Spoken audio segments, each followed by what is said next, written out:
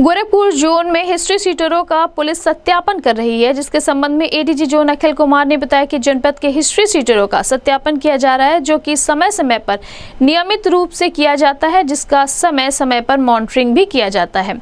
लेकिन history seat में एक प्रावधान है कि अगर कोई हिस्ट्री सीटर दो वर्षों तक कोई अपराध नहीं करता है तो एसपी उसके हिस्ट्री सीट को खत्म कर सकता है। लेकिन इसमें देखा जाए कि इन दो वर्षों के बीच में वह किसी अपराध में शामिल ना हो। इसलिए यदि कोई हिस्ट्री शीटर अपनी हिस्ट्री शीट को खत्म करना चाहता है तो अपने थाना अध्यक्ष व एसपी से संपर्क कर सकता है। उनके अच्छे आचरण को देखते हुए पुलिस हिस्ट्री शीट को खत्म करने पर विचार करेगी। इस संबंध में गोरखपुर न्यूज़ से बात करते हुए एडीजी जोन अखिल कुमार ने कहा।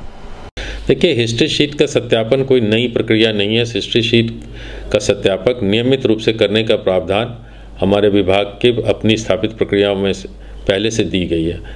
और ये कार्य सतत चलता रहता है और लगातार हम लोग इसको मॉनिटर भी करते हैं और अपने जो बीट पुलिस सिस्टम उसके तहत इसका सत्यापन भी करते रहते हैं। जहाँ तक अच्छे कार्य की बात है, हिस्ट्री शीट में प्रावधान है कि हर एक दो वर्ष में ऐसे हिस्ट्री शीटर खास करके एच जो हिस्ट्री शीट ए है उनके रिव्यू किया जाए और अगर उनमें कोई अपराध या उनकी सक्रियता नहीं पाई जाए तो संबंधित पुलिस अधीक्षक उसको क्लोज भी कर सकते हैं। तो हम लोग इनक्रेज करेंगे ऐसे लोगों को जो अपनी हिस्ट्री शीट बंद कराना चाहते हैं, अपने अच्छे आचरण को अपने पुलिस अधीक्षकों से मिले, अपने beat police officer B S से मिलकर अनुरोध कर सकते हैं। वो भी अपने लेवल से और उस पर हम लोग सकारात्मक रूप से ज़रूर विचार करेंगे।